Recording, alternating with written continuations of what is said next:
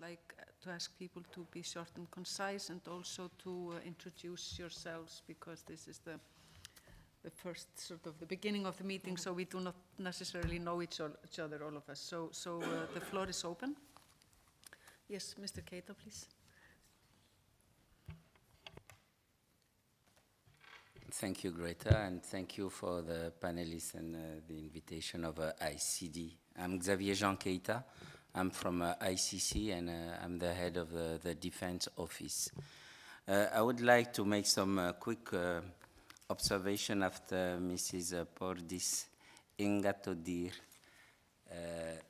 um, presentation. Um, I agree with you, Madam, that ICC um, can be sometimes conservative. But uh, I think that uh, your presentation was not very fair with ICC, and uh, I will just uh, remind, as Mr. Valur did, that uh, having an international tribunal with a victim having for the first time at international uh, level a flaw that is not conservative at all. And it's coming from a defense lawyer, saying that the place of victim uh, is very important in ICC, and this is not conservative. And ICC do uh, have a, a, a trust fund for victims, repairing some uh, trouble in the fields without waiting for a conviction. So this is important to underline. And ICC, the first permanent court, the other you have quoted are just ad hoc. And uh, in, uh, in law, the main principle is um, nulla poena, nullum crimen sine lege. In French, pas de peine, pas de crime sans loi. Meaning that uh, uh, establishing the rule and the law, this is really law because you know the law and you know if you have to break or not the law. But the ad hoc tribunal may have been seen in the past as a justice for a, a, a victorious person. So I think that having a, a first permanent court, we cannot say that that court is conservative. Another point I will underline is complementarity. Complementarity means that states first have the responsibility to investigate and to organize trial and not the ICC. We do not have a police, we do not have an army, and uh, we have to rely on cooperation, and uh, this is why IC, ICD's initiative are, very uh, im important. And finally, you were uh, quoting uh, Africa as targeted by ICC, saying, well, nothing new, or uh, some head of state. I will just uh, precise that ICC, uh, when ICC started, African Union were very quiet till 2009 in March, when the first arrest warrant against a head of state, Omar el-Bashir, was uh, decided by the pretrial chamber. And suddenly, African Union discovered that ICC was existing. As an African, I'm very proud to be an ICC manager. And among the 124 states, 34 are African, and I'm proud of that. But we cannot say that uh, ICC is targeting Africa. Main, majority of the cases and situations have been sent to ICC by African uh, head of states. And uh, um, uh, I, I, I, will finish, madam. only Kenya was an initiative of ICC.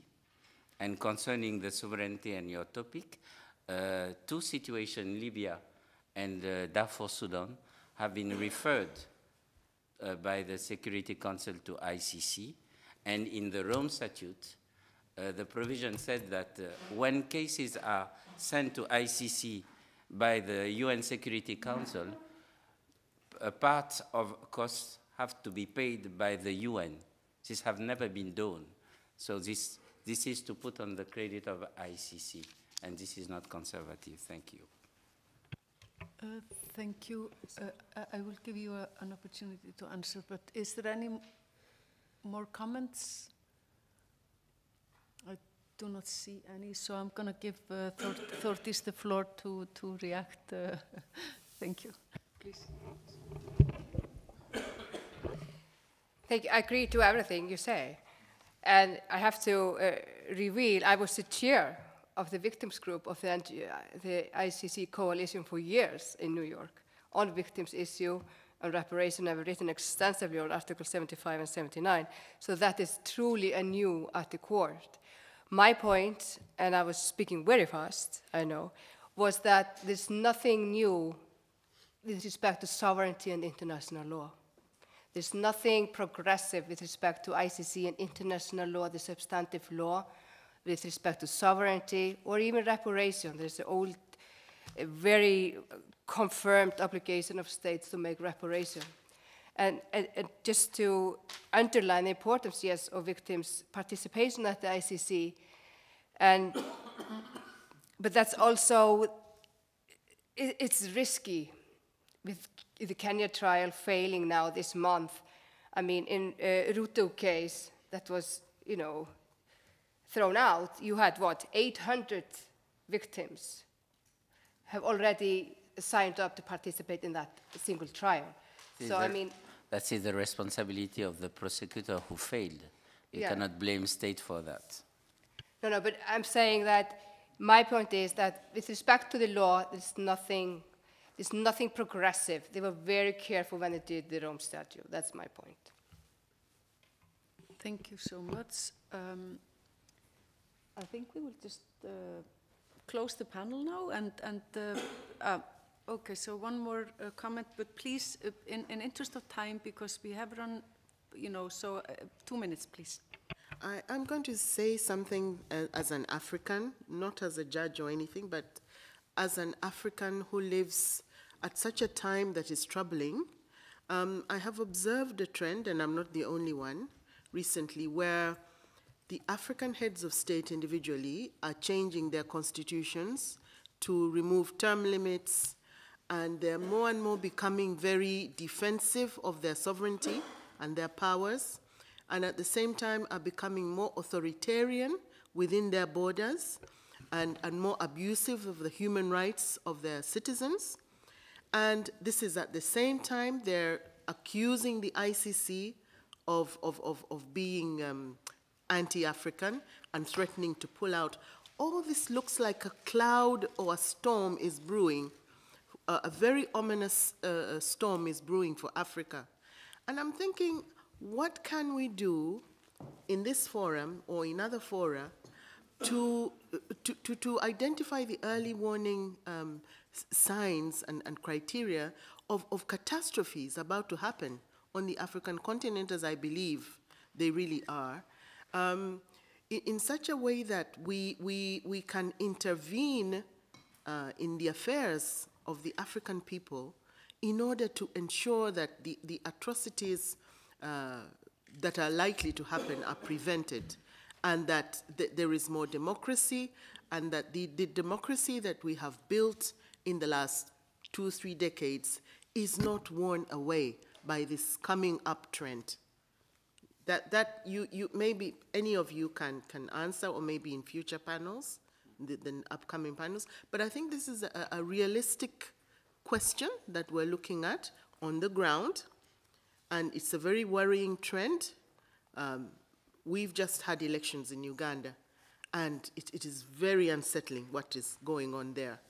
And, and we're sort of looking within ourselves. We don't seem to have a solution. We're looking at the international community. They're not interested. And the situation is deteriorating. And we were one of the more stable amongst many unstable countries in the sub-region. So what is going to happen when things fall apart at the center? Uh, Thank you so much. I, th- I think this is a very, um, you know, it's, it's, it's an issue that should be discussed.